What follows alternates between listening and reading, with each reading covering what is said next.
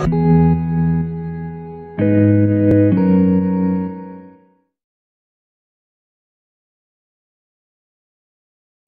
então, agora sim, ó, a partir daqui, né, é, sistemas práticos agora, né, de, de liquefação. As páginas anteriores foram é, material introdutório, né, é, e também para estabelecer um ciclo ideal para comparação de performance. Ah, então, os ciclos práticos, a gente primeiro começa é, trabalhando com eles, né, com regeneradores né, é, ideais, né, ou seja, né, com, com efetividade de 100%, né, e depois a gente traz um pouquinho mais para a realidade, né, com regeneradores uh, reais. Né. O ciclo que vai ser apresentado aqui né, é uma família de ciclos né, de Linde e Hampson, né, que foram os dois primeiros a liquefazerem é, gases. Tá? Então, realmente, historicamente, eles foram os primeiros.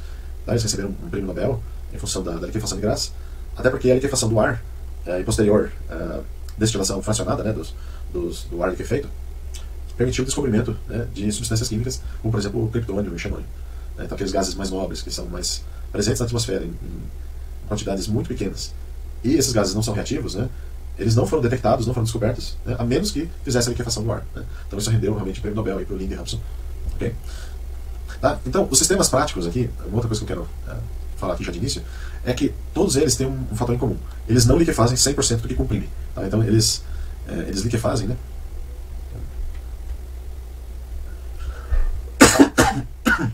Perdão. Eles liquefazem uma fração, que é chamada de Ki, da massa comprimida, ou seja, do gás comprimido. Tá? Então, é, você tem que ir menor do que 100%. Tá? Então, é, você, nos sistemas práticos, você vai comprimir uma quantidade grande de gás e vai obter uma quantidade de líquido menor né, quando o sistema atinge regime permanente. Né? Ah, e outra coisa, né, toda análise que a gente faz é em regime permanente. Tá? E eles envolvem né, é, pressões altas, porém pressões praticamente né, atingíveis. Né? Então vamos lá. Então vamos começar aqui com o ciclo de Linde-Hampson ideal né, de liquefação.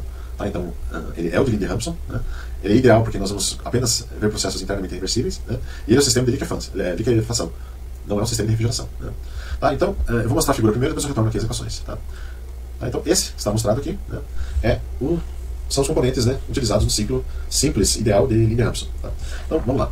Tem aqui no estado I, né, a condição de entrada, né, você tem é, uma fração de gás que entrando. Por que, que, eu tenho que repor esse gás? Né? Porque uma fração que, né, mesmo que, de líquido está sendo coletado lá embaixo. Né? Então, aqui que é feita então, a, a, coleta, né? a coleta do líquido é feita aqui embaixo. Tá? Então, uh, por isso mesmo que é necessário suprir né, é, a mesma quantidade de gás aqui em cima. Então, tendo uma entrada de gás aqui, né, é, e você tem né, uma certa massa aqui circulando né, nesse sentido, né, em estados 1, 2, 3, 4, G5, 1, 2, 3, 4, e uma, uma parte da massa circulando. Né. Então é como se fosse né, uma parte da massa circulando, tem uma entrada aqui e uma saída ali, uma entrada em I e uma saída em F. Tá.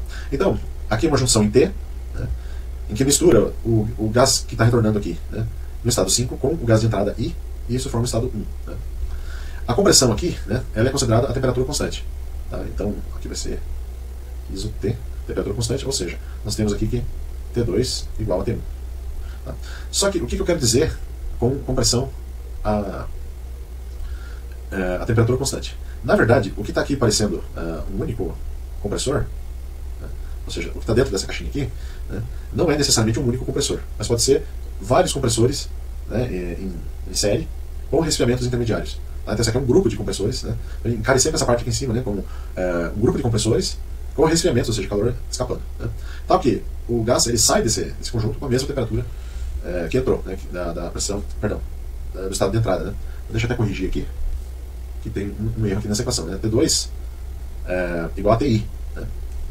Deixa eu só apagar o T1 aqui então. Ah, T2 igual a T. Eu quero fazer. Né? Tá? T2 igual a TI, né? ou seja, a, é a temperatura ambiente. Né? Ambiente.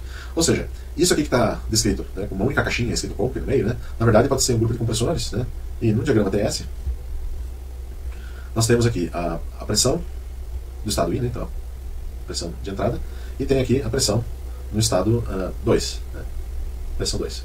Em termos de temperatura, né, nós temos aqui a temperatura de entrada. Né, vou fazer uma linha horizontal aqui. Né, ah, mais ou menos assim. Né, o gráfico está tá sketch, né? Tá só então o que acontece? É, você tem a entrada I, que vai misturar com 5. Né? Se esse for um regenerador perfeito, e no caso aqui ele é, né? nós temos aqui que essa, essa corrente 2, 3, ela tem toda a massa, né? aí uma, uma fração que sai aqui embaixo. Então se a gente for fazer um balanço de massa, nós temos aqui uma fração subindo aqui de 1 menos Q. subindo aqui. Né? Então, do lado de cá, a gente tem a mesma substância, né, de, de, de ambos os lados do regenerador, né? só que aqui você tem uma vazão de massa menor. Né? E, coincidentemente, a, o calor específico aqui em baixa pressão é menor também. Tá? Então, por dois fatores, né? CP menor e vazão menor, né? vai ser comum desses ciclos de refrigeração de Rampson, de que o regenerador sempre, a menor taxa de capacidade, ou seja, o C mínimo, C ponto mínimo, sempre vai ficar do lado de baixa pressão. Tá? Ele sempre vai ser o lado de, né, de baixa pressão. Sempre vai ser no C mínimo e vice-versa. Né? Então, como essa corrente aqui tem uma taxa de capacidade menor, né, e o regenerador é ideal, né, lembrando que ele é ideal, nós temos que o fluido nesse, na corrente de menor taxa de capacidade, ele sai com a mesma temperatura que a outra corrente está entrando. Ou seja, dentro dessas né, circunstâncias, né, ou seja, e, é, o fato do regenerador ser ideal implica que T5 é igual a T2. Tá? E se T5 é igual a T2 e T2 é igual a TI, nós temos que T5 e TI são então, o mesmo estado, que eles estão na mesma temperatura e pressão. Então essa mistura aqui, né, ela não é, é irreversível, né? é só mistura de duas correntes com o mesmo estado. Tá? Então o estado I, 1 e 5 acaba sendo exatamente o mesmo estado. Né? Mas qual é a condição para isso? A condição está aqui, né? Que o regenerador, esse último aqui, seja ideal. Né? Então isso aqui faz com que seja o mesmo estado. Ah, então o ciclo linear ideal tem essa facilidade, né? Ou seja, o estado, uh, você tem o estado 5, é idêntico ao estado, perdão, uh, ao estado I de entrada, que é idêntico ao estado 1. Tá, por que eu estava falando isso? Uh, ah, então, nesse caso, né, aí T2 vai ser igual a T1. Né? Então, aquele erro que eu fiz antes, na verdade, eu já estava antecipando uh, aqui na minha cabeça já nessa condição. Tá? Voltando a falar aqui desse grupo, né, desses é, do compressor aqui, ele é mostrado como um só, mas na verdade ele representa vários processos de compressão com resfriamento intermediário. Né? Então, partindo aqui desse estado, ah, era por isso que eu fiz essa, essa análise, para indicar aqui no gráfico. Né? Então, esse aqui é o estado de entrada, também é o estado colocar, né? é equivalente ao estado 1, também é equivalente ao estado 5. Aqui.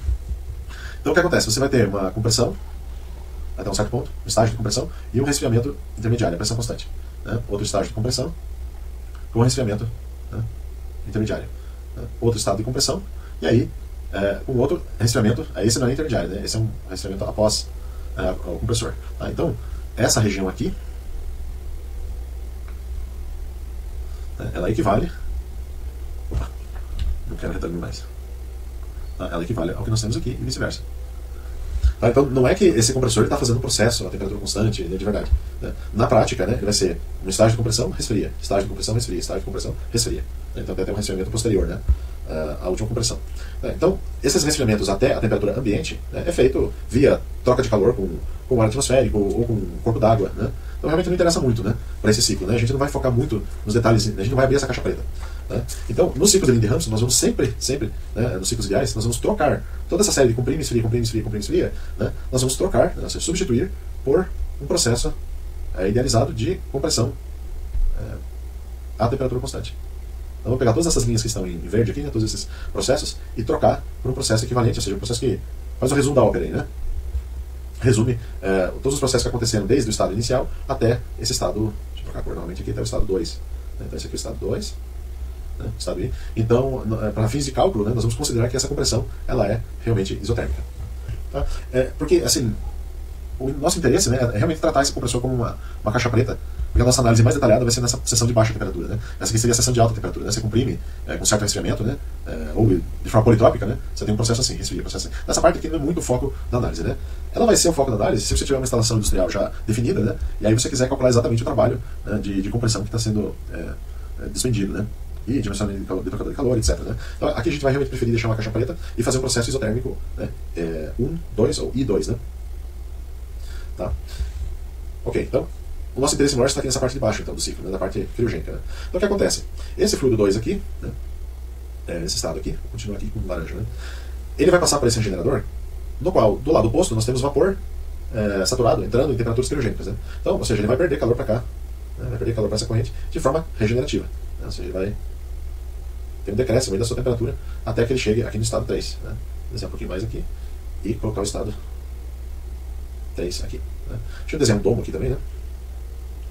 Ah, vamos supor que essa substância não seja alguma coisa assim, né? Não vai dar certo essa escala, né? Deixa eu colocar o um pouco mais para cá, para fazer com que essa pressão aqui ela caia a temperatura.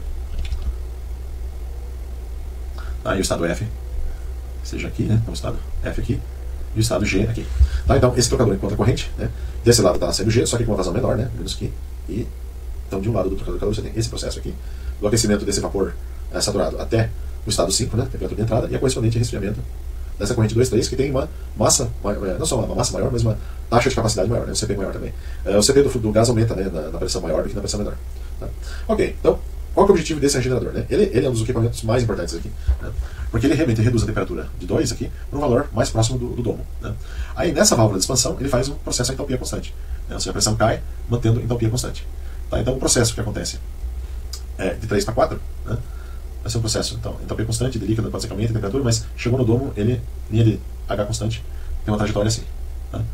Ou seja, o estado 4, né, ele vai ser uma mistura de líquido e vapor saturado. Então, a estratégia desse tipo de, é, sistema, né, de Linde-Hudson, é simplesmente jogar o, o, o, estado, né, o fluido em um estado que esteja dentro do domo. Né? Então, aí que eu falei, essa produção parcial de líquido e não total de líquido. Né?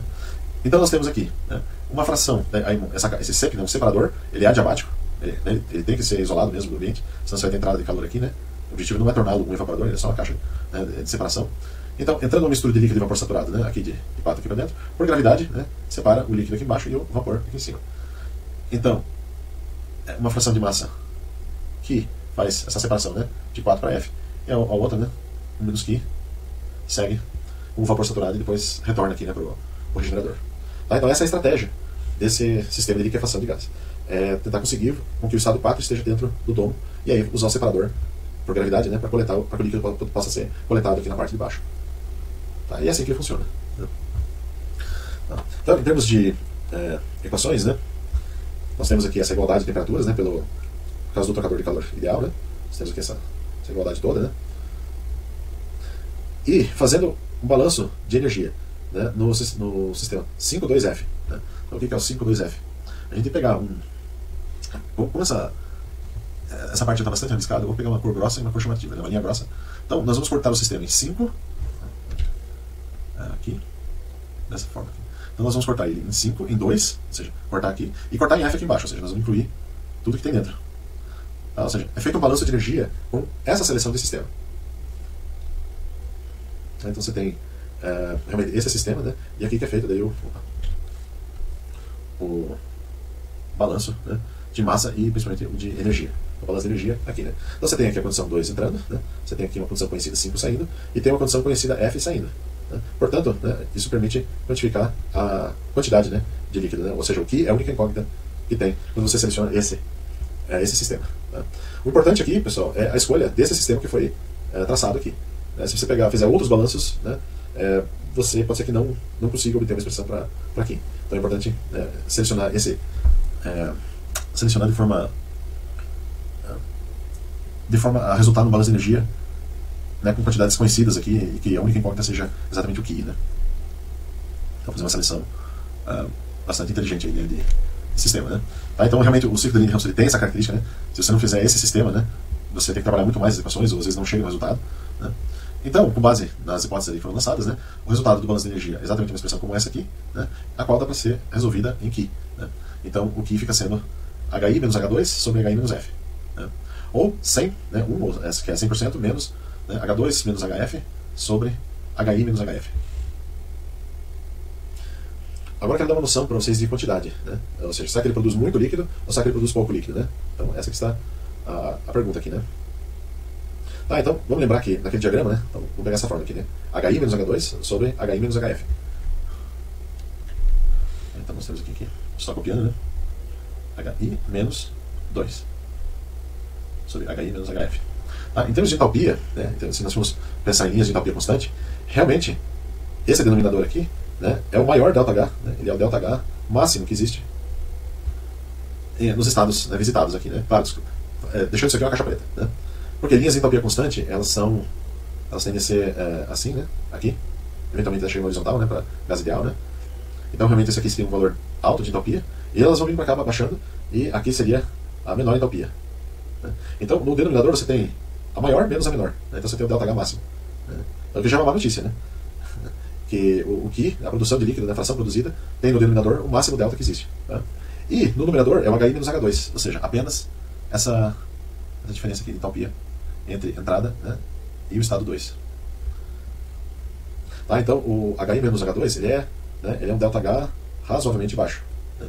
Ou seja, moral da história né, é que nesse ciclo Linde-Hampson ideal, nós podemos esperar que o Q seja baixo, especialmente se a temperatura aqui for baixa. Né? Ou seja, a temperatura de F sendo baixa vai distanciar cada vez mais né, o estado F do estado I, em termos de, de entalpia. Né?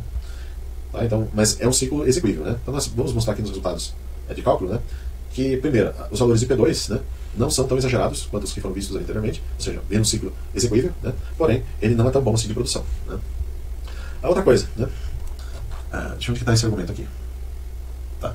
Então, para uma dada é, configuração, né, você tem é, HI menos HF fixo, né, que é o denominador, né, que é o delta H máximo. Né. Então, a produção é maximizada né, quando HI menos H2, o numerador, né, é maximizada. Né, ou seja, quando o H2 é minimizado. Então, se o H2 é um valor mínimo, né, esse delta aqui vai ser o valor máximo. Né? Então é possível uh, resolver né, para maximização uh, da produção, que, ou seja, é possível definir uma pressão. Né? Tá, então, como tem T2 igual a, a, T de entrada, né, e a pressão 2 é maior que a pressão inicial, né, então o valor, o valor ideal né, de, de, pressão, ou seja, tem um valor ótimo né, de pressurização que maximiza a produção de líquido. Tá? Então, quando chegar nesse estágio né, que parcial H, parcial P é constante igual a zero, né, ou seja, quando chegar nesse máximo aqui, né, a pressão na qual isso aqui for verdadeiro né, é a pressão ótima. Né? Então, quando você tem ali é, no gráfico TS, linhas de entropia constante, elas normalmente dão, na fase ali de gás, é, eles têm um, um, comportamento como esse, né, para vários gases. Né? Ah, então, o que acontece? Num certo valor de pressão, que passa por esse máximo, né? se esse aqui for P2, né? e P2 passar por esse máximo aqui, né? lembrando que daí o estado 1 vai ser aqui, né, na mesma temperatura, né? então o estado 1 e aqui o estado 2. Né? Então a pressão ótima é, é exatamente essa aqui, né? como se tivesse o valor máximo aqui. Então não adianta pressurizar, comprimir mais para cá, porque a entalpia de 2 vai começar a aumentar. Né? A entalpia é mínima, ela pega essa linha, essa linha de baixo, né? essa linha mínima aqui, quando o nível de pressão atinge né, essa condição aqui. Graficamente, né, essa derivada é representada dessa forma. Né? Então lembrando que com temperaturas mais altas, né, mais altas, faz com que esse valor de H aqui seja maior do que esse. Né? Então, portanto, nós temos H1 maior que H2, né? e H2 chegando a um valor mínimo aqui. Né? Porque se você pressurizar um pouquinho mais, se você pegar um 2 aqui, ele vai estar em cima de uma linha de entalpia para cá que é maior que essa. Né? Tá? Então, é, é, possível usar as relações de propriedades né, para mostrar, para provar que essa condição aqui, parcial H, parcial P é constante igual a zero, equivale a um coeficiente de Joule-Thomson igual a zero. Tá, então, que, que, pressões são essas? Né? Então, essa tabela aqui, né, nós temos o, valor de pressão exatamente que fazem com que né, o Mi de Joule-Thomson seja igual a zero é, em 2, né, no estado 2. Então veja que são pressões bem menores né, do que aquelas que estão sendo utilizadas. Então, pra, ah, para, né, temperatura de entrada igual a 300 Kelvin. Tá, está numa temperatura ambiente, né, você vai maximizar, por exemplo, a produção de nitrogênio líquido. Né, se você pressurizar, como o ciclo de Linde-Hampson, né, se você comprimir até 39 megapascal. E mesmo assim maximizando, né, o valor vai ser 9,2%. Ou seja, de todo o gás que foi comprimido, apenas 9% ele que faz, usando a Linde-Hampson é, simples ideal. Né? Veja que para os outros gases né, com temperaturas né, maiores, né, você tem porcentagens né, quase que monotônicas. Né? É monotônico até aqui, né? depois ele cai um pouco, né, por, né, por questões das propriedades, aí, da posição do domo de cada gás. Né?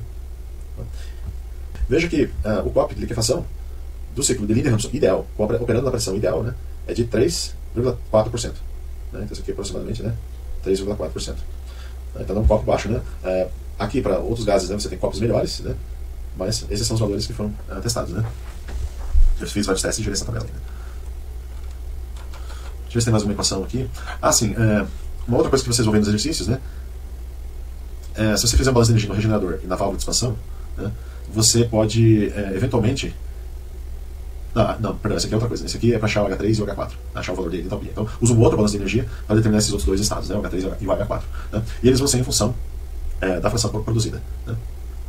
É, o balanço de energia, aqui na, no próprio separador, né, é, vai estabelecer uma relação entre o que é produzido, né, a fração de líquido produzida, né, e vou fazer assim, uma, uma, relação né, entre isso e o título do estado 4. Né. Na verdade, né, é, isso aqui é só uma relação, tá? Não estou dizendo que eles são iguais. Né? De fato, o que acontece? Qual é a fração de, de gás né, é, que tem aqui? A fração de gás é o próprio título, né, X4. Né, é a fração de gás. Né? Então, fração de gás. Então, conceitualmente, é bem simples, a gente concluir que aqui vai ser 1 menos x4. Né? Por quê? Se x4 é a fração de gás, 1, menos x, 1 é 100%, né? menos x4 é a fração de líquido. Né? Então você tem essa relação aqui também entre uh, essa quantidade produzida né? e o título aqui no estado 4 né, é, eles são relacionados por essa relação simples aqui. Então os exercícios vão trabalhar exatamente essa parte. Né? Ah, então aqui tem discussão, né? E aqui, é, nessa tabela 5, eu só refiz os cálculos né, utilizando pressões progressivamente menores. Então aqui está um grupo de, de é, 20 megapascal, esse outro grupo aqui com 15 megapascal. Né? Então você vê, para nitrogênio, que o ideal seria né, 39 megapascal lá em cima, né? Em cujo caso tinha uma produção de, a grosso modo, de 9%, né? se você pressurizar até 20 mega, né, você consegue obter 7,4% de nitrogênio líquido. Se você utilizar uma pressão menor, vem uma quantidade de líquido menor, e assim por diante. Né? Até que chega né, aqui, né, é, um grupo aqui com 10, né, e finalmente esse grupo aqui com 5 megapascal, e uma produção aqui só de 2% né, do, do nitrogênio. Tá? Então, aqui é possível verificar também uma variação no, nos copos. Né? Se você é, fixar aqui, né, por exemplo, o nitrogênio, você vê que aqui tem um copo de 3%, aqui 2,7%. Né? Então, assim, vai diminuindo o, a pressão, mas vai diminuindo o copo junto, né? pelo menos para o nitrogênio. Né? Então, com esses dados dessa tabela, você pode fazer análise assim, para os outros gases também. Né? A gente não está analisando só nitrogênio líquido, você pode ver os outros gases aqui também. Né? O que acontece? Ó, por exemplo, ó, com o é, etano, né? reduzindo a pressão de 20 para 15, causou um aumento do cópio, de 0,61 para 0,62. Né? Então, às vezes, né, deixa eu ver qual era a pressão ótima para ele. A pressão ótima era 27 megapascal, e o cópio era menor que 0,6, né, 0,59. Então, assim, aqui maximizou a produção de líquido, né, chegou em 48%. Né, aqui diminuiu um pouco, 47%, 46%, um pouquinho menos, só que aqui com cópio melhor. Né? Tá, então, é, o sistema de Ramsey não é obrigado a operar na, naquela pressão que maximiza a produção. Né? É, no caso desse outro gás aqui, né, me parece mais desejável maximizar o COP, né? que vai permitir até operação numa pressão bem menor. Tá, então, é, tá, essa parte é, foi né, de ciclo Linde-Rampson, de liquefação, né, um ciclo ideal.